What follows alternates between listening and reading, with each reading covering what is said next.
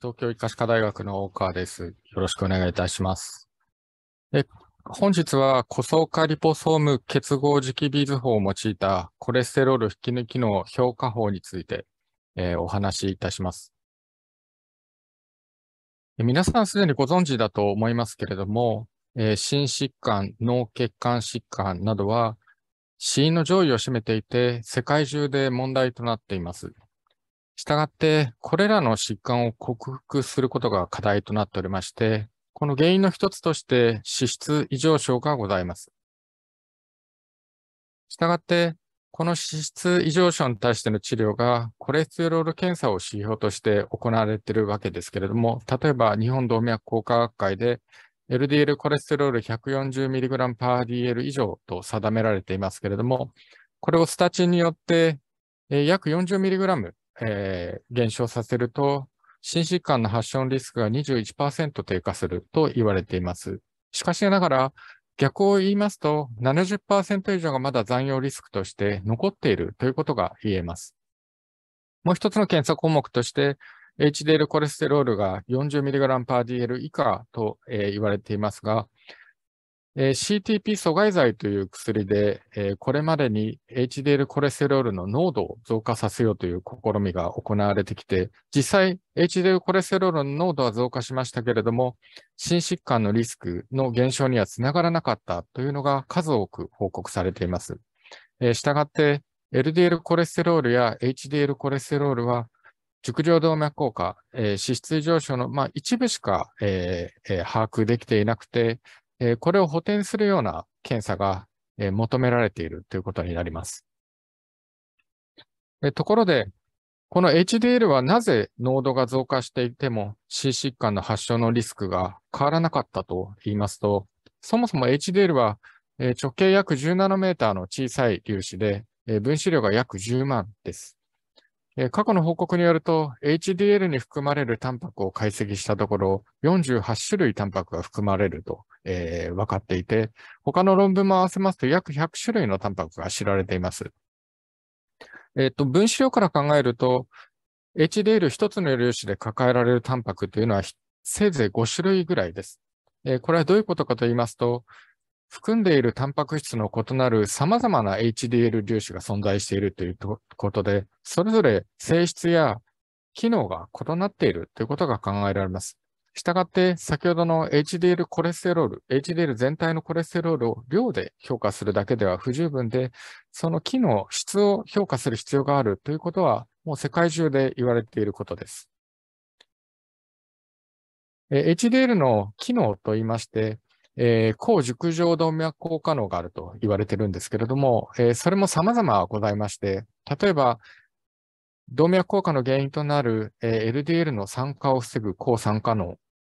あるいは血管内皮を、えー、生存させる、えー、機能、また、動脈硬化の原因となります、えー、短球の郵送を抑制する抗炎症作用は、えー、作用や、あるいはコレステロールを鈍縮して本末細胞になって、これがやがてプラークを形成するわけですけれども、この本末細胞からコレステロールを引き抜く機能、コレステロール引き抜き能が知られています。特にこのコレステロール引き抜き能が、えー、重要な抗軸状動脈硬化作用であるというふうに言われておるわけです。このコレステロール引き抜き能 CC というのはどういったことかと言いますと、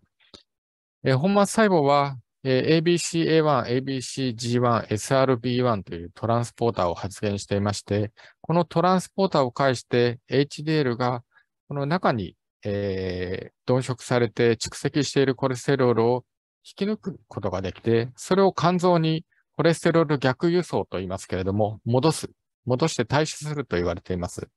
えー、したがってプラークの縮小、えー、そういったものにこの HDL は深く関わっていると言われています。したがって、世界中でこの HDL コレステロール引き抜きの CEC を評価する方法が開発されてきました。実際に2014年にこの CC、CEC をですね、数多くの心疾患、疾患を持っている患者さんで評価したところ、HDL コレステロールとは独立したリスクマーカーになるというふうに言われています。つまり CEC が高いと、えー、心疾患の発症のリスクが低いということが分かってきました。で、それ以降も、この CEC が臨床的に、え、評価するのに有用であるっていう論文は数多く出て、え、おりまして、え、こちらパブメンドの CEC を評価した臨床研究の、え、論文数なんですけれども、年々増加傾向にございます。したがって、もうこの CEC の評価が有用であるということは、え、世界中で実証されております。えところが、この CEC の評価法には問題がございます。というのも、えー、2014年に、えー、臨床的評価、有用性が報告されているいてから、まだあの各、例えば検査室、病院に広まっているとは言えません。え、この問題点の一つとして、え、細胞を培養しなければいけないというのがあります。え、細胞を培養した上で、えー、放射性同位元素標識のコレステロールをこの細胞に鈍色させて、えー、そこに腸炎疹によって分離した HDL を、えー、振りかけてですね、えー、その放射性コレステロールの移動を見る。これで引き抜きのを評価するという評価法が、えこれまで世界中で報告されてきた方法でして、まあ、この方法ですと、とても煩雑ですし、放射性物質の、え取り扱いのリスク、あるいは腸炎疹を、えー利用しなければいけないという手間から、え臨床応用が非常に困難であると考えられています。そこで我々は2018年に細胞を用いない新たな簡便な CEC の評価法を開発しました。我々古層化リポソーム結合ゲルビーズ ILG 法というふうに呼んでいます。どういった方法で測定するかと言いますと、こういったゲルビーズにえ蛍光標識コレステロールをリポソームの形にして古層化閉じ込めます。でその上で、えこの蛍光標識リポソームを個層化したゲルビーズに、えー、BDS、えー、血清からアポ B 関連のリポタンパク、つまり HDL 以外のリポタンパクを沈殿させた調整ですね。つまりリポタンパクとしては HDL しか含まれていないものですけれども、えー、これを振りかけて、えー、その HDL が引き抜く蛍光コレステロールを蛍光強度を測定することによって評価する方法になります。えこの方法によって、え放射性は蛍光標識に変えられ、また手間のかかる、え培養細胞というのはゲルビーズに変えることによって、非常に安全、簡便、高精度、また測定時間が、え約この時1日で測定できるんですけど、え1日で、え細胞培養だと3日から、え5日間かかるんですけども、え1日で測定することができるようになりました。ただ細胞を使うので、え、それが本当に CC を、え、反映するのではないかと言われるんですけれども、え、我々従来の、えトリチウム、え放射性標識コレステロールを用いて細胞を培養して CC を評価する従来法と、え先ほどご説明した ILG 法で、え実際の、え検体を使って相関を取ると、こちらにお示ししますように良好な相関性が得られることを確認しております。えー、また、HDL の特異性ですけれども、えー、大型の HDL と小型の HDL、HDL2、HDL3 をそれぞれ ILG 法と従来法で、えー、測定したところ、えー、従来法で差が出なかったんですけれども、同様な傾向を示すことを、えー、お示ししています。一方で、えー、特殊な HDL ですね、えー、アポイ含有 HDL に関しては、えー、これは健常者っていうと、全体の HDL の10%程度含まれている HDL ですけども、えー、アポイ含有 HDL で評価しますと、えー、我々の ILG 法では、えー、その引き抜きのに差が出て、えー、従来法ではあまり差が出ない。つまり、アポイ含有 HDL は、えー、我々の方法ではあまり反映していないということが分かりました。でまた、えー、BDS を資料として、資料として用いるんですけれども、えこの BDS の資料が本当に血清全体の HDL を反映しているかということで、え腸炎疹で、え取り出した HDL の、え CEC を評価して、それにその血清中に含まれるコレステロールの、え濃度を、えかけて補正したホールの CEC と、えー BDS の CEC を比較すると、これも良好な相関性を示すことが、え分かりまして、まあ、我々の IgA 法はですね、えメジャーな HDL に関しては、引き抜き能をきちんと反映しているってことを証明しております。さて、再現性ですけれども、従来法と ILG 法の再現性を比較しますと、やはり細胞培養を用いるとえ、ばらつきがえ出てしまいましてえ、こちら同時再現性え、20資料を連続して測定したものですけれども、細胞培養を用いると CV が10%を超えてしまうんですけれども、我々の ILG 法ですとえ、5%未満で測定できるということが分かりました。こちらが測定間の再現性で20日間測定したものですけれども、こちらも細胞培養を用いると 15%CV 超えてしまうんですけれども、我々の方だと5%以内で測定できるということを実証しております。したがって我々の ILG 法は簡便で優れた再現性を有するということが言えると思います。ただ課題もございます。この ILG 法は BDS をこの ILG に振りかけた後、インキュベーションをするんですけれども、その後に再分離が必要になりますえ。再分離には遠心操作が必要ですので、えこの今の臨床検査にあるような自動分析装置を用いたこの CEC の評価法というのは遠心操作が含まれるので困難でした。えそこでさらに我々はこの方法をえ改良いたしました。それが、えー、ILM 法と言われるものです。えー、ILM というのは、えー、マグネティックビーズの M を、えー、使って ILM 法と我々呼んでおります。えー、磁気ビーズを、えー、使った新たな方法を我々は開発いたしました。えー、どういった方法かと言いますと、基本的な方法は先ほどの ILG 法と同じになります。えー、蛍光コレステロールを、えー、閉じ込めたリポソームを今度は磁気ビーズに、えー、固相化するわけですね。で、この磁気ビーズが特殊でして、えー、通常の磁気ビーズではなくて多孔質の磁気ビーズを用います。で多孔質の磁気ビーズを用いることによって、えー、ゲルビーズと同じように、えー、リポソームを加えた後に凍結融解を繰り返しますと、えー、この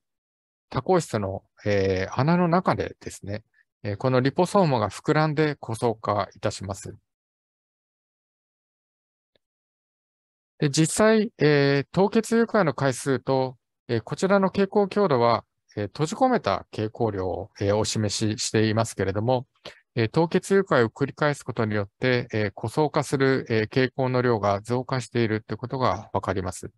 実際、蛍光顕微鏡で確認してみますと、えこちらが、え磁気ビーズ、まあ、こちらがイメージなんですけれども、多孔質のこの穴の部分に、え蛍光、えコレステロールがきちんと固相化されているということが、え示されました。また、この蛍光、えー、コレステロールを固相化した磁気ビーズがどのぐらい安定かというのを確認したところ、えー、45日間までは、えー、有意な差が出ずですね、えー、蛍光が閉じ込められたままである。これ、情勢の蛍光距離を測定しておりますけど、えー、を確認しています。えー、60日だと、えー、その情勢中にわずかに傾向が、えー、有利して、えー、優位差は出るんですけれども、その値は蛍光強度にすると0.2程度で、えー、閉じ込めた量が、えー、30近くの蛍光強度を閉じ込めますので、えー、60日間でわずかに優位したとしてもかなり安定であるということがわかります。で、この個装化した ILM を実際どのように扱うかと言いますと、えー、磁気を用いまして、この磁気ビーズを分離することができますので、遠心操作なしにですね、えこの情勢の蛍光強度を測定することが可能です。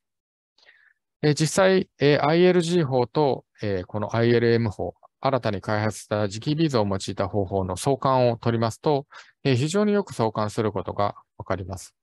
まあ、この ILM 法はまだ細胞法との比較はできてないんですけども、先ほどお示しした通り、ILG 法と細胞法は非常に良好な相関を示しておりまして、ILG 法と ILM 法は相関性を示していますので、ILM 法もえ細胞法を反映していると我々は考えております。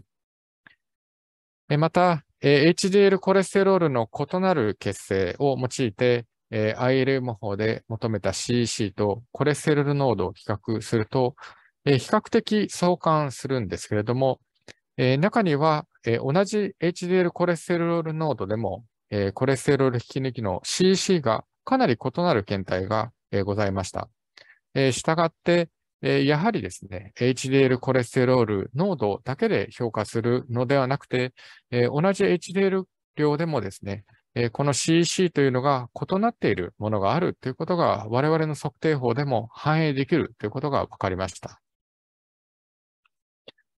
これまでのお話をまとめますと、我々は細胞を用いない、えビーズ法の、開発によって、簡便で短時間で高精度な CC を評価することが可能となりました。この、CC の評価法というのは細胞法をよく、反映しておりまして、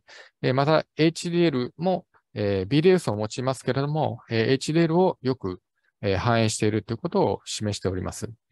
で、さらに先ほど、えー用いた磁気ビーズへの変更によって、えー遠心操作も必要としないために自動分析装置への搭載が、えー可能と、えーなりました。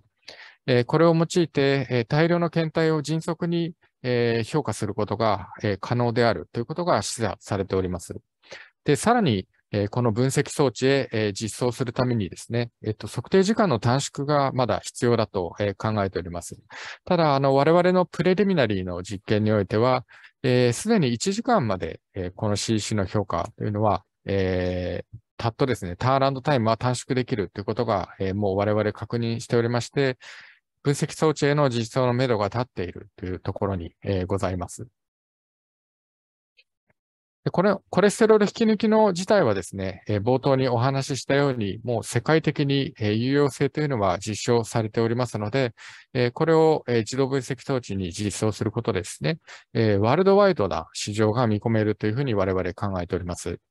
えー、したがって、えー企業様に、えー我々が、えー希望しておりますのは、えーこの装置の開発を共に行っていただきたいということになります。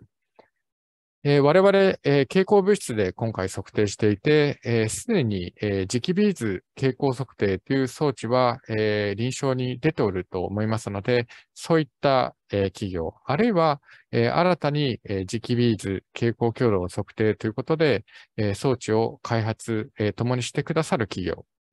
えーまたは、えー蛍光強度以外の検出も、えー現在我々の方でも考えておりまして、すでに、えーデザインはできておりますので、えー違う検出法でも、えー磁気ビーズを用いてですね、えー共に、えー装置を開発してくださる企業、えーそういった企業と、えー共同で、えーこの CC の評価法を確立していければと我々考えております。まあ、これらの、えー CC の評価法はですね、えーより早期の、えー心疾患発症のリスクを予測できるマーカーになると考えておりまして、えー検診事業などへの展開が、えー期待しているところでございます。えすでに、えー発表されている、えーその CC の評価法との比較になります。えー先ほどお示ししたように細胞を用いた CC の評価法というのはかなり論文が出ておりまして、まあ、細胞を用いる、えーあるいは放射性、蛍光コレステロールを用いるのもありますけれども、いずれも手間がかかり、まあ、測定時間も、えーかかるので、まあ、実際臨床検査に導入するというのはかなり難しいというふうに考えております。えー実際検出しているのは MAC 成分のコレステロール、えになります。えーで、えっ、と、抗体は用いない。ただ細胞を用いるので、まあ、コストや手間がかかると考えております。えーまた、えーシスメックス社の方から、えーコレステロール取り込み能というものが報告されていて、これはもうすでに自動分析装置で実装されています。えー取り込み能というふうに、えーシスメックス社は、えー歌っていて、まあ、引き抜き能と基本的な性能は変わらないというふうに我々は考えて、えーおりますけれども、えー測定時間は短く、ただ、えー抗体を用いるために、えーコストがかかるというところと、まあ、厳密に言うと、MAC 成分を引き抜いているということにはならないというふうに我々は考えております。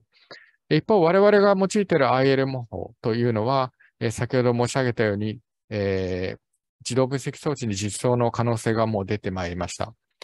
えー厳密に言うと細胞を用いていないんですけれども、えー、引き抜きを、えー、リポソームを模してですね、えー、反映していると考えておりますし、また抗体を用いないために非常に安価な測定が可能であると考えております。対象となる疾患は、え繰り返しになりますけれども、え心疾患発症のリスクの早期の予測マーカーになると考えておりまして、まあ、現在我々の方でも臨床試験中ですけれども、えプラークの退縮効果など、そういったものを予測できるのではないかと考えております。最終的には人間ドック、検診など、そういったものにですね、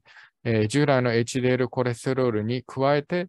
えー、この CC を評価することで、えー、早期のリスクを発見するように、えー、利用できるというふうに考えております。えこれら磁気ビーズを用いた方法に関して、す、え、で、に特許特許を国内外で出願しておりまして、こちらが出願に関する情報になります。えまた、本件にかかる問い合わせ先は、えこちらに、えお願いできればと思います。以上で私の説明を終わりにします。ご清聴いただきありがとうございました。